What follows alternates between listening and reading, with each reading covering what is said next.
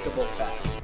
And like, I'm so glad Caleb is here for Well, this. Knows all about this. And it's like, oh, oh, look, it, he can't be mean. He's so fat. How could that, that, that fat? Little guy. Now he's just kind of fat, and he also had up teeth. And He's up uncanny teeth, fat. he was almost like Appalachian, like, you know, oh, he's a, he's a rowdy Appalachian fat, like really fat guy. Yeah. Now you have now he's got fucking like nice ass teeth, and he's just kind of fat. Um, Cringe. And, and there's also this thing with YouTubers where like when a YouTuber's 30, it's like okay, YouTuber. When a YouTuber's 50, and you could tell that they're trying to still be 30, there's kind of this like inherent cringe to that. I like seeing 50 year old people saying, "Oh man, Sniper Wolf's L Riz."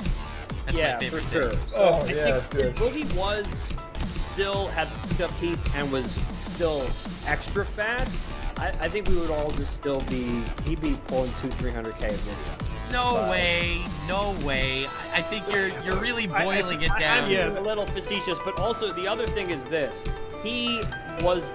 I don't know how many people in the internet world or any media world that get known as being likable maintain likability for that long, right? Especially when you're doing live streaming. Imagine if Mr. Rogers from way back in the day was live streaming for three, four hours a night. Eventually, maybe he's not as nice. We just happen to see him through this very polished, Dude, I like this. I'm, right? I'm with you 100%, except uh, the the ones that have the nice guy reputation, that are actually nice people, keep that nice guy reputation.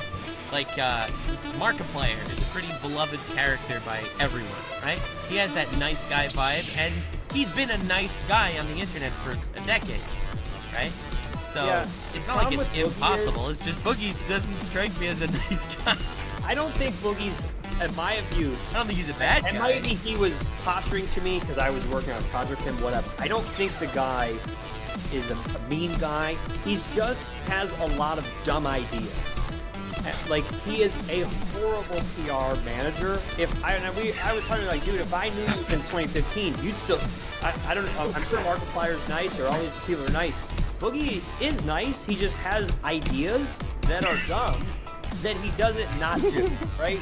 And he never had any. And I would tell this to him. He has. He's. I think he's genuinely means well most of the time. He just has get these things in his eye, uh, head to do, and there's not that like business PR manager to kind of be like, yo, let's not say it like this. Let's say this. Listen, I, I think the okay. I th- I think the biggest elephant in the room here is Is like this. Okay, that that one, but the I'm other sorry, thing I is like had to. I, I when- regret. I immediately regret everything. when we mention Markiplier and all these other characters, right? What is the big difference between Markiplier? Um, you know, Oompaville is a likable guy. I've never seen anybody dislike you. Charlie is a nice guy.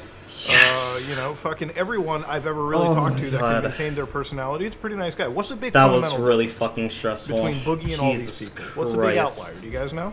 Skinny. It's-